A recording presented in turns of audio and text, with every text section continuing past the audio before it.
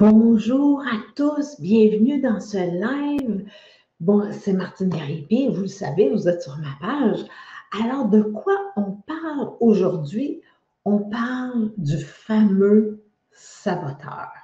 Le fameux saboteur qui nous empêche de tourner en rond. Et on va y aller directement dans le vif du sujet. Est-ce que vous avez déjà remarqué que le saboteur ne se présente jamais dans votre vie quand vous, vous ne sortez pas de votre routine habituelle. Si vous restez dans votre zone de confort, le saboteur, là, il se pointe jamais. Alors, est-ce que vous remarquez qu'il se pointe seulement quand vous, vous, quand vous, vous voulez sortir de votre tanière? Ben, lui aussi, il va sortir de sa tanière. Alors, si vous avez des commentaires ou des questions, gênez-vous pas sur le saboteur, vous pouvez écrire ça dans les commentaires. Je vais les voir et les prendre au fur et à mesure. Il y a quand même un petit délai entre euh, le temps que vous écrivez et le temps que je les vois, mais bon. Alors, voilà. Et qu'est-ce qu'il veut, le saboteur? Il veut vous protéger. Je sais, ça a l'air bien bizarre quand on dit ça. Ben voyons donc, il m'empêche de faire ce que je veux. Puis tu es en train de me dire qu'il veut me protéger. Ben oui. Mais je vais revenir plus tard. Avant, on va regarder la notion de zone de confort. Et la zone de confort, on pense, on pense toujours que ça tient comme dans un des aspects de ma vie. Mais non, la zone de confort, c'est beaucoup plus large que ça, c'est beaucoup plus vaste. Ça touche à chacun des aspects de notre vie. Et là, j'ai fait une liste. Alors, j'en ai recensé sept aspects de notre vie que ça peut toucher, la zone de confort. Vous pouvez en ajouter, vous pouvez en noter. Mais là, je vais vous les nommer, vous les exprimer.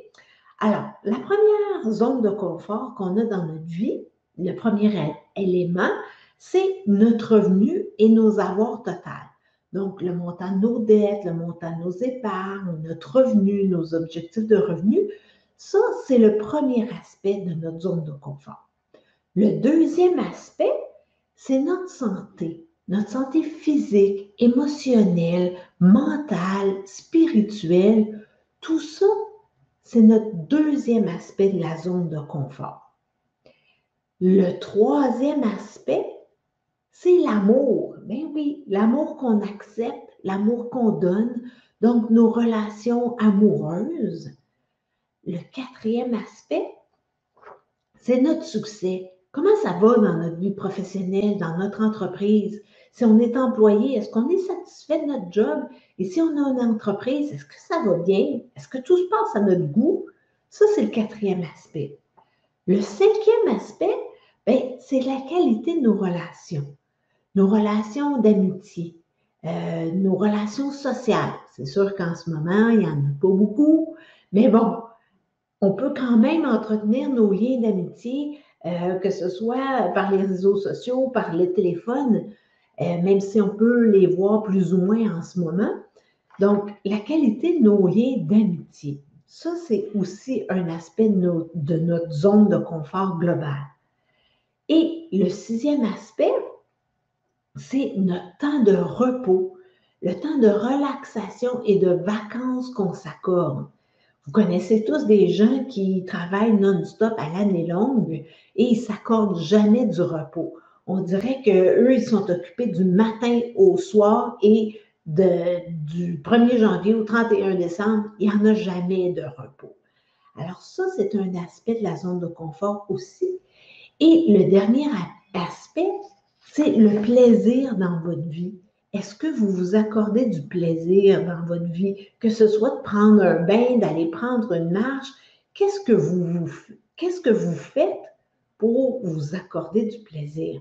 Donc, ça, c'est cet aspect qui contribue à notre zone de confort.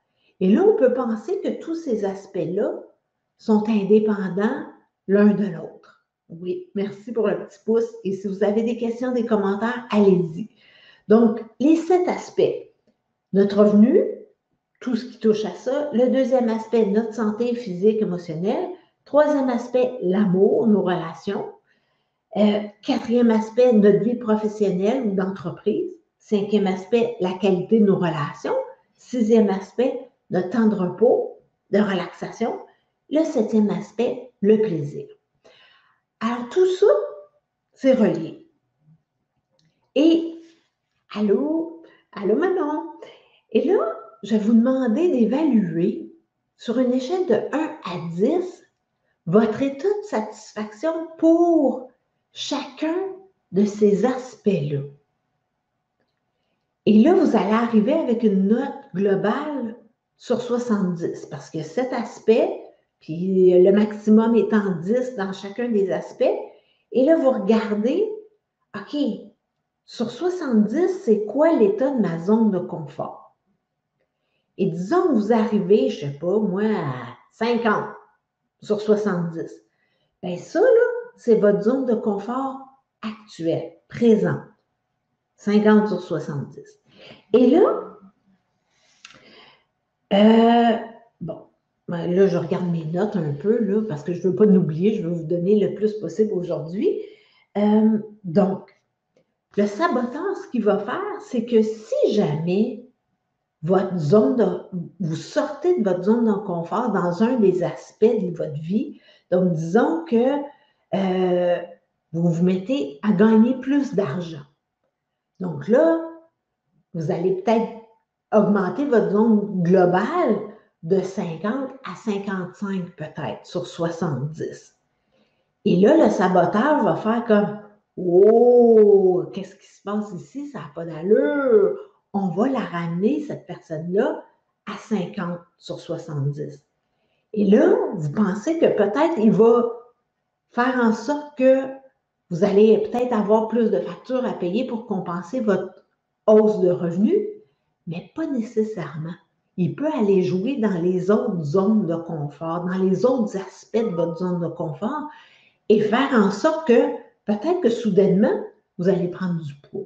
Ou peut-être que soudainement, vos amis vont vous faire des crises. Ou peut-être que soudainement, vous n'aurez plus de vacances. Tout vous allez partir en vacances, puis là, tout va chier, tout va aller mal. Alors, vous voyez comment ça peut être lié. Vous vous dites, mais voyons donc, comment ça, ça se met à aller mal? Ben, c'est probablement parce que vous êtes sorti de votre zone de confort dans un des autres aspects de votre vie. Donc, le saboteur, il a vraiment, vraiment plus d'un tour dans son sac. Alors, faites juste observer si dans votre vie, quand vous sortez de votre zone de confort, est-ce que tout se met à bien aller ou il y a des affaires qui se mettent à, il y a des petits éléments qui se mettent à retrousser. Et ça, c'est un signe que le saboteur est à l'œuvre. Donc, il n'y a pas de hasard. Observez quand vous faites quelque chose qui sort de l'ordinaire, que vous avez une plus grande joie, est-ce que c'est compensé par quelque chose qui se met à aller mal dans votre vie? Et si oui, soyez curieux. Observez qu'est-ce que, pourquoi ça arrive maintenant? Qu'est-ce qui se passe? Est-ce que je me suis mise à aller mieux dans un aspect de ma vie? Alors, posez-vous ces questions-là. Et justement, j'ai quelques questions pour vous pour voir le rôle de, protecteur du saboteur. Alors, je vais vous poser trois questions. Là, si vous avez un objectif en tête, là, Pensez-y comme il faut et demandez-vous, qu'est-ce que je perds si j'atteins mon objectif? Vous dites, ben voyons donc, je perds rien. Mais pour certaines personnes qui veulent gagner plus d'argent, ben eux autres, disent, OK, si j'atteins mon objectif, ça veut dire que j'aurai plus de temps libre. Hum, est-ce que c'est vrai? Est-ce que c'est pas vrai? C'est pas important. Ce qui est important, c'est ce que vous, vous pensez. Et le saboteur va faire comme Oh, oh, oh, non, non, non, tu ne gagneras pas autant de revenus parce que là, tu n'auras plus de temps libre pour ta famille, pour faire ci, pour faire ça. Alors, posez-vous cette question-là. Qu'est-ce que vous perdez si vous atteignez votre objectif? Ça peut être un objectif de revenu, ça peut être un objectif euh, de rencontrer l'âme ça peut être un objectif de mise en forme, peu importe. Faites juste voir qu'est-ce que vous perdez? La deuxième question. Quelles sont les conséquences d'atteindre mon objectif? Bien, les conséquences, c'est peut-être que si vous avez un objectif de revenu, ça veut dire, oh merde, je vais être obligé de gérer plus d'argent, puis ben, je ne sais pas trop comment faire ça. Moi, là, gérer plus d'argent ou des conséquences, je ne sais pas. Peut-être qu'il y a des gens qui vont dire, ah, oh, ben là, euh, elle n'est plus comme elle était. Maintenant qu'elle a perdu du poids, elle, se prend pour quelqu'un d'autre. Ou maintenant qu'elle fait plus d'argent, hein, tu je suis pas sûre qu'elle fait partie de notre clan. Alors, faites juste voir, est-ce qu'il y a des conséquences à atteindre votre objectif? Faites juste voir. La troisième et dernière question, et celle-là n'est pas le fun, mais bon, il faut se la poser. Qui sera mécontent si j'atteins mon objectif? Ça se peut qu'il y ait des gens qui ne sont pas si contents que ça pour votre succès. C'est poche, mais c'est comme ça. Il fait juste observer s'il y a le nom de quelqu'un qui pop. Et là, ça ne veut pas dire que pour vrai, cette personne-là va être mécontente. Mais ça veut dire qu'il y a une partie de vous qui croit ça. Et c'est assez pour que le saboteur se manifeste. C'est comme, oh mon Dieu. par exemple, si vous pensez que votre meilleure amie ne sera pas contente que vous atteigniez votre succès et que ça vous rappelle que la dernière fois que vous avez eu quelque chose de fantastique qui s'est passé dans votre vie, ben, vous a fait la baboune pendant plusieurs jours, le saboteur, lui, il s'en souvient. Puis il fait comme Oh mon Dieu, je ne veux pas repasser par là. Je n'ai pas envie qu'elle me fasse la baboune pendant plusieurs jours. Fait que je n'atteindrai pas mon objectif. Comme ça, ça ne la bousculera pas, ça ne la déclenchera pas, puis tout va bien aller. Je sais, ça a l'air bizarre, là. Mais ça se peut. Oh, boy, oui, OK. Parfait. Donc, ça résonne, hein? Mm-hmm. Alors, s'il y a des gens qui ne sont pas contents, bien, ça peut faire que vous, inconsciemment, vous allez vous limiter. C'est poche, mais c'est ça. Et là, s'il y a des événements justement qui font comme Oh mon Dieu, ça nous rappelle telle chose, c'est ça qui est de la matière à tapoter.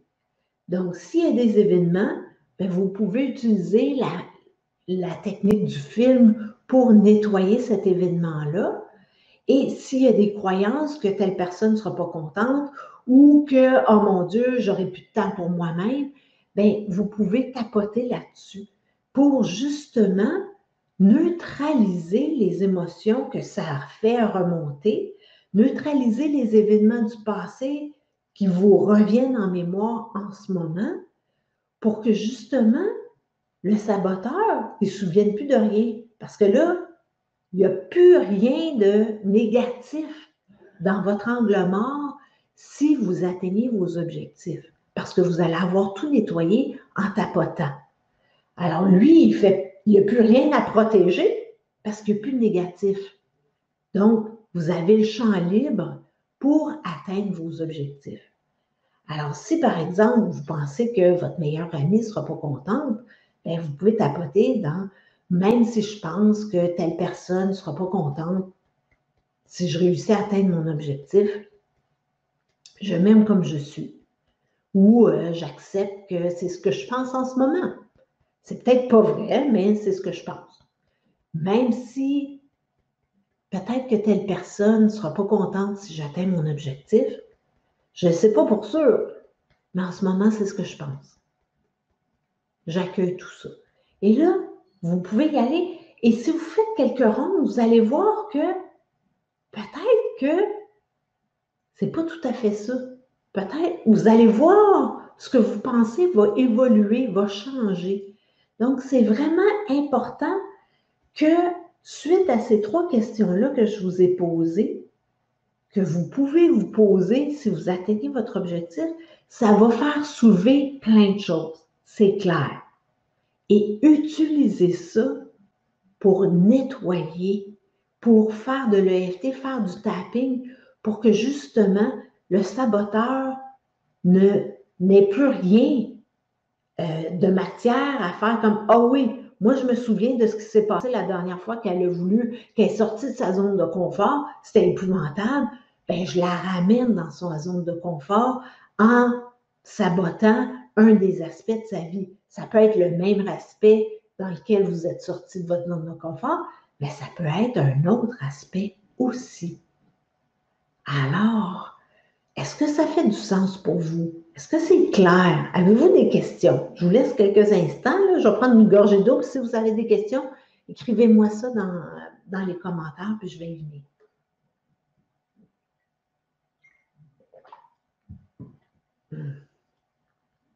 Alors, je laisse quelques instants parce qu'il y a comme un délai de 30 secondes entre les commentaires et le temps que moi je les vois.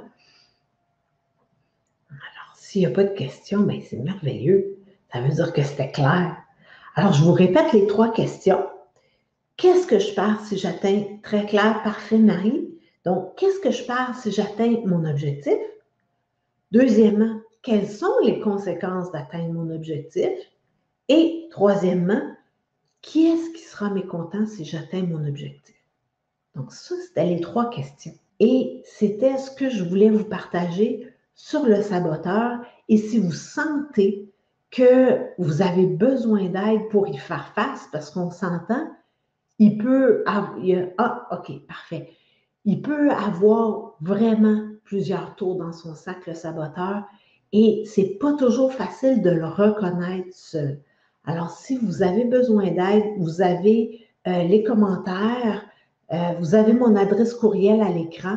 Gênez-vous pas pour m'envoyer un, courriel et puis on pourra communiquer ensuite et voir comment je peux vous aider. Alors, c'était tout ce que j'avais à vous raconter pour aujourd'hui et je vous dis à la prochaine. Merci d'avoir été là. Au revoir.